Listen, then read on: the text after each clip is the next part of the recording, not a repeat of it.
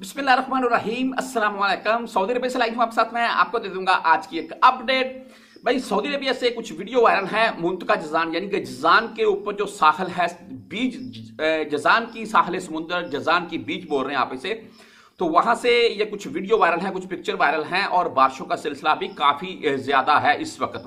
میں بھی اسی منتقہ جزان کے ایریاز میں آتا ہوں اس وقت اور میں جس ایریاز میں موجود ہوں، یہاں سے بھی آپ کو کچھ لائیو مناظر دکھا چکا ہوں۔ بارشوں کے حالیہ ہی جو چل رہی ہیں اور ابھی بھی چل رہی ہیں۔ تو روز بھائی اثر کے ٹائم سے بارشیں شروع ہو جاتی ہیں اور کافی زیادہ تعداد میں بجلی بھی گرنے کے بہت سے واقعات سامنے آ رہے ہیں۔ اور جس جگہ پر میں مقیم ہوں، یہاں پر بھی کچھ اسٹریٹ لائٹ میں نے دیکھا ہے جی آسمانی بجلی گرنے سے ختم ہو چکی ہیں، بالکل۔ تو یہ کچھ ویڈیو ہے جی ساحل سمندر جزان سے وائرل ہوئی ہیں جی جو کہ آپ دیکھ سکتے ہیں، سمندر کے اندر طوفان اٹھا ہوا ہے۔ کچھ بندے اس کو ایسے بولتے ہیں جی پنجابی میں جیسے یعنی کہ پاکستانی، ہم چھوٹے تھے، ہم بھی ایسے بولتے تھے کہ بادل پانی پینے آئے ہیں۔ لیکن ایسا معاملہ نہیں ہوتا ہے، یہ سمندری طوفان ہوتے ہیں۔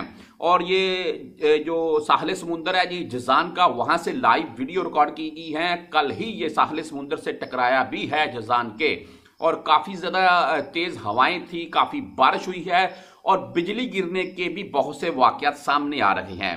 تو اس ٹائم بھائی سعودی عربیہ کا جزان شہر یا منتقہ جزان ان علاقوں میں تیز ہواؤں کے ساتھ بارشوں کا سلسلہ جاری ہے۔ ساتھ میں آسمانی بجلی بھی بہت زیادہ گر رہی ہے۔ جگہ جگہ پر آپ یقین کریں تو بجلی کڑکنے کی بھی آوازیں بہت ہیں۔ میں آپ کو آپ کے ساتھ کچھ ویڈیوز میں لائیو ساؤنڈ بھی آپ سنتے ہوں گے۔ جب میں ریکارڈ کر رہا ہوتا ہوں، اس ٹائم بھی ایسے واقع بادل یعنی کہ باہر بارش لگی ہوئی ہے یا بجلی کڑک رہی ہے۔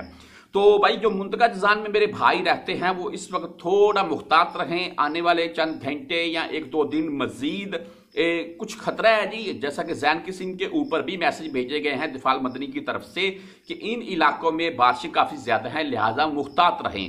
کسی بھی وادی میں، کسی گہری کھائی میں، ان ان دنوں میں مت جائیں تو وہی بیسٹ ہے آپ کے لیے۔ اور خاص کر، جیسا کہ یہاں پر آپ کو میں کچھ گاڑیوں کی ویڈیو بھی دکھا رکھا ہوں، تو گاڑی لے کر ان علاقوں میں، کسی وادی میں، کسی گہری جگہ پر مت جائیں۔